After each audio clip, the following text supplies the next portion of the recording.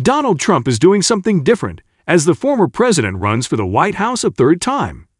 Your weekly look at the latest developments, buzz, and speculation in the 2024 race for the White House.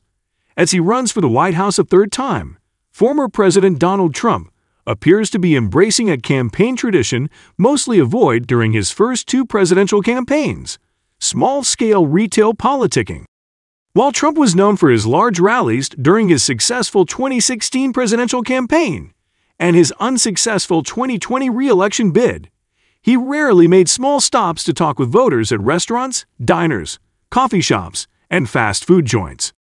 During his trip last week to Iowa, his first to the state that leads off the GOP presidential nominating calendar, since launching his 2024 White House campaign in mid November, Trump's large scale event at the Adler Theater in Davenport, and his comments targeting likely rival Florida Gov. Ron DeSantis grabbed headlines. But just as telling about his campaign was his unannounced stop ahead of the rally to a Machine Shed restaurant, which is a popular chain in the Hawkeye State, where he mingled with patrons. Last month, after visiting the site of a train derailment in East Palestine, Ohio, Trump stopped by a McDonald's fast food restaurant.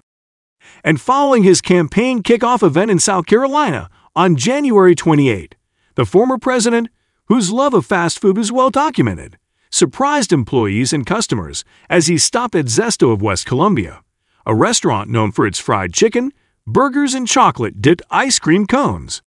Trump 2024 campaign spokesman Stephen Cheung told Fox News these types of visits garner a lot of eyeballs and attention, not just media wise, but social media wise as well.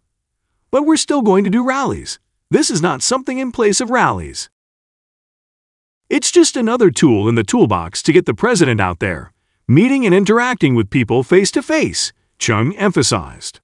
Trump announced this week that he would hold a large scale rally in Waco, Texas, March 25, and his campaign said Saturday that any potential indictment from the Manhattan District Attorney's Office would not interrupt those plans.